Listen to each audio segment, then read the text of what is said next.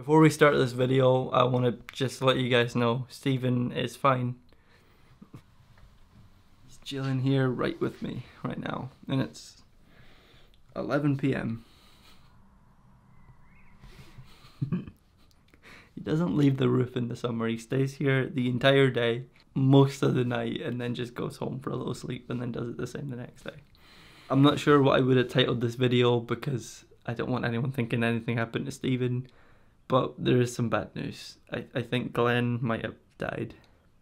There's been a lot of bird flu going around recently. I was on a run the other day and it was like two miles along the beach. I think I seen about a hundred just dead seagulls, other birds. Like I don't know many other birds honestly, but just different birds. Loads of washed up dead birds along the coast. Bird flu just seems to be like really big at the moment between the birds, and a lot of them seem to be dying and I think that's what got Glen. Glen was always the one that was kind of like, oh, Glen, why are you here? But I never actually hated Glen. I really liked Glen. He was funny. He looked just different. Steven and Glen are not like the other seagulls. They look so much different. They've got so much character. So for the past two days, I've known this. I, I took a picture of Glenn because I noticed he hadn't really left the nest for a couple days. He was just kind of lying still. He wasn't coming over asking for anything. He was just there. Yeah, it was like the following day. I noticed he's still just there, and it looks like the babies are like walking all over him. They're like just standing on him. I took a picture, zoomed in, and he looks like he's just lying on his back, like neck flopped over, not moving, dead. But I thought maybe he's just like sick or sleeping in a weird way. Like I, I don't know. My dog sleeps on his back. Never seen a bird do it though. but um, I always want to make like an entertaining, nice video, but this this just isn't one. Later that night, like yesterday, I took another picture. Like eight hours later, same position, flopped over neck, not moving, the same. And today, I took another picture, the same, but looks deflated. It looks even just more dead than he was. So, I think that's what's happened. Glen's died. Steven's still doing great though. I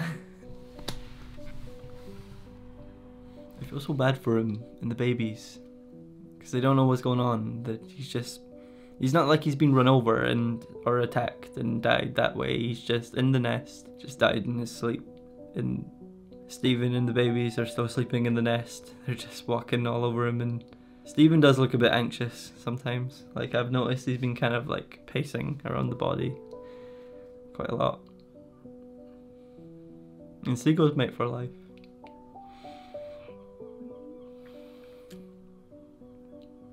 It's just so sad.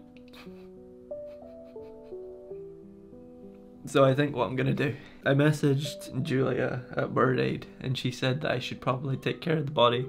I should go get it and I should bury it somewhere because one, Steven could maybe eat it and get sick with whatever Glen had or um, it can kind of decompose and then crows can start swooping at it trying to get him. And if crows are like swooping at the nest, then like maybe they'll go for the babies as well if Steven's not there because you know they can't take shifts and like protect the babies, it's just Steven now. He's quite lucky that he has me and I can just give him all the food that he needs and then he can just get back to protecting the babies. I really hope Steven doesn't catch it. He seems fine. He seems just as like chirpy as ever. Steve. so I think later tonight I'm gonna get a ladder, which I've got in my car, and then I'm gonna go get Glen's body. And then tomorrow we're gonna go on a little drive and we'll bury him somewhere nice. Steven, do you want some tuna?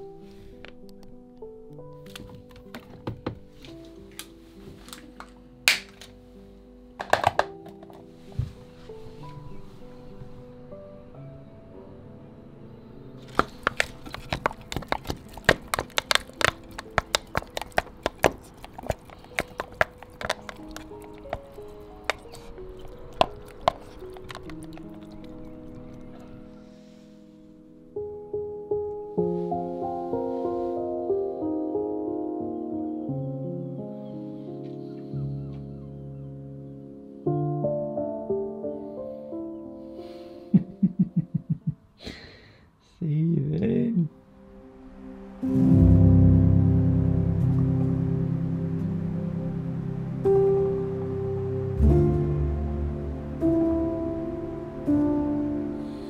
just driven an hour and a half into the middle of nowhere and I have no idea what I'm doing.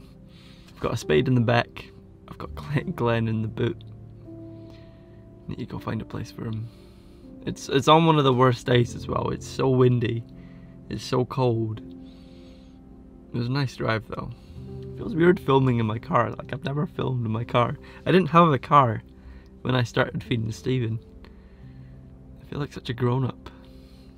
I've got a watch on. My life has changed. I am a different person. I also thought it was quite fitting to come out to, I'm not sure where this is. It's Glen Shee or Glen Isla kind of in between the two. Burying Glen in a glen. Not really too sure what I'm looking for here. I've never had to bury something.